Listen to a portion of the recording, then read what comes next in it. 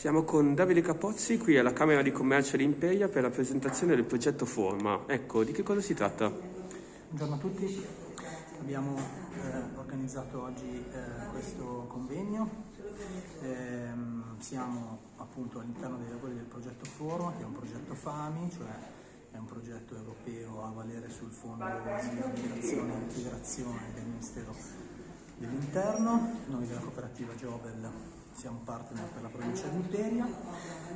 È un progetto che si occupa sostanzialmente di eh, migranti e agricoltura e quindi eh, è un progetto in cui noi crediamo perché per le specificità eh, di questo territorio in cui eh, l'agricoltura è ovviamente una componente importante eh, dei processi di eh, integrazione socio-lavorativa dei migranti.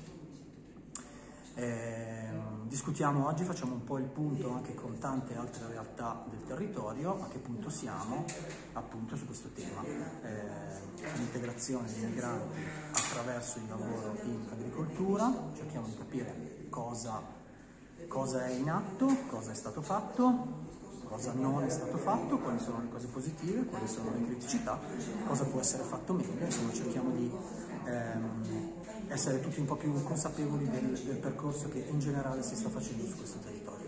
Ecco, è finalizzato anche al contrasto dello sfruttamento in ambito lavorativo? Assolutamente sì. Uno, dei, tar- uno degli obiettivi principali del progetto FAM Informa è la lotta al caporalato. Uh, in entrambi i sensi, cioè sia da parte eh, dei cittadini di paesi terzi che eh, cioè dei lavoratori sia da parte delle imprese agricole.